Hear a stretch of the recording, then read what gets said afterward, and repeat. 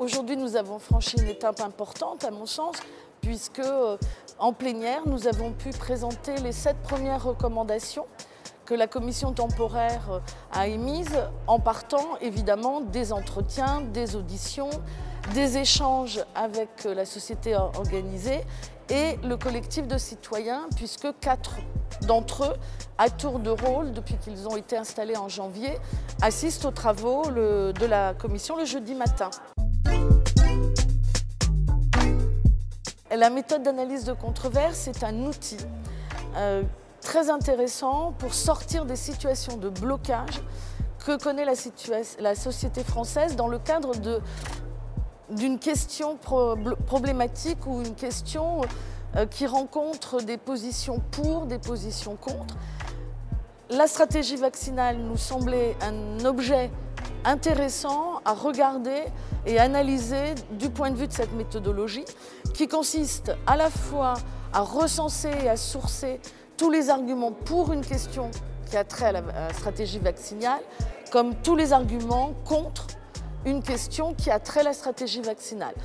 Le CESE, ce n'est pas la première expérience de participation citoyenne, hein, puisque avant nous, euh, deux avis ont fait l'objet d'une participation citoyenne, Fracture et Transition ainsi que Génération Nouvelle. Et nous souhaitions franchir une nouvelle étape de, travail collaboratif et il nous a semblé que l'analyse de controverse était le bon moyen de travailler en commun. Donc nous allons ensemble, avec les citoyens qui le peuvent, examiner des questions faisant l'objet de controverses dans notre société, rechercher les arguments pour, les arguments contre et préparer une synthèse que nous espérons euh, rendre publique d'ici le 30 mars. Et cette synthèse aura pour, euh, a pour objectif de permettre au pouvoir public de prendre des décisions en étant conscient euh, des situations de blocage et peut-être même d'en sortir. Les citoyens, samedi 20 février, ont déjà, nous ont déjà fait remonter une série de questions brutes est-ce qu'il est, euh, quelle est l'efficacité des vaccins contre les variants?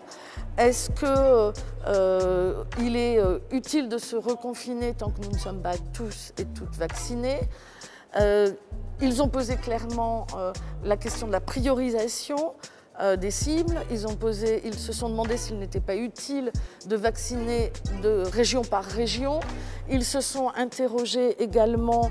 sur le fameux passeport ou certificat vaccinal euh, qui fait l'objet en ce moment hein, euh, de débats et de positions très tranchées